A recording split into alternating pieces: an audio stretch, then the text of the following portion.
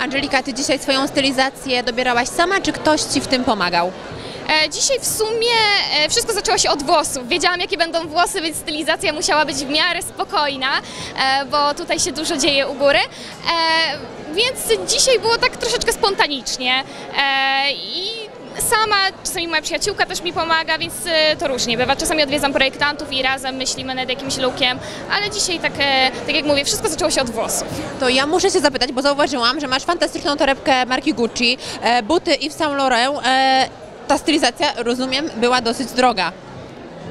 Tak naprawdę ja już kiedyś wspominałam w jakimś wywiadzie, że e, jak, e, jeśli chodzi o jakieś markowe rzeczy, to ja stawiam tylko na buty i na torebki, bo są to rzeczy takie, które można ubrać do wszystkiego.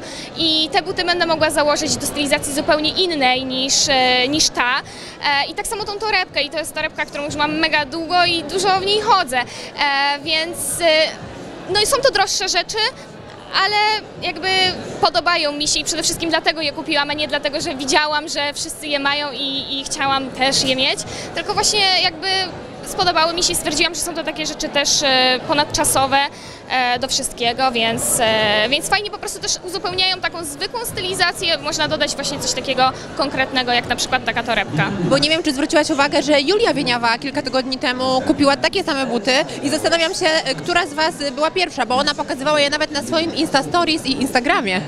A to szczerze mówiąc nie wiem. Ja je dorwałam jak teraz byłam w Stanach, e, bo muszę przyznać, zawsze jak jestem gdzieś tutaj w okolicy w Europie, to nie ma mojego rozmiaru, mam dosyć popularne rozmiary, też nie ma moich ulubionych modeli, e, na przykład torebek, których zawsze wszędzie szukam, a tam akurat było wszystko, więc, e, więc po prostu już mega się czaiłam na te buty bardzo długo, więc w końcu je dorwałam w swoim rozmiarze. Okej, bo wiem, że w Stanach byłaś niedawno, czyli jednak Julia była pierwsza z butami. Możliwe, ale tak jak mówię, ja już mega długo za mną chodziły, tylko po prostu jak byłam chyba w Wiedniu w wakacje, to nie było niestety mojego rozmiaru. To ile najwięcej wydałaś na buty? Ojejku, mm, nie wiem, naprawdę. Tak szczerze, wiesz, może być w euro. Przeliczymy sobie.